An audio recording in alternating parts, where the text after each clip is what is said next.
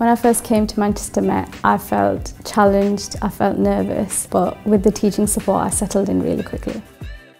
The best thing about studying at Manchester Met is being able to find myself, being able to find what I think, what my opinions are of the world of economics in general.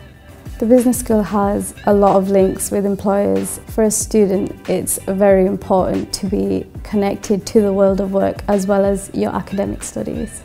We got the chance to speak to employers such as KPMG, Bupa, Aldi, and it was quite eye-opening to see what they were looking for in their management trainees.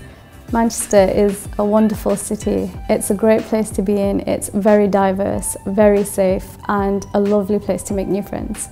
Once I've graduated, I think the best thing for me to do is to grow my experience. But in the long run, I'd love to help smaller businesses be that someone that they'd have to ask for advice that they need for future investments or how to grow their own company.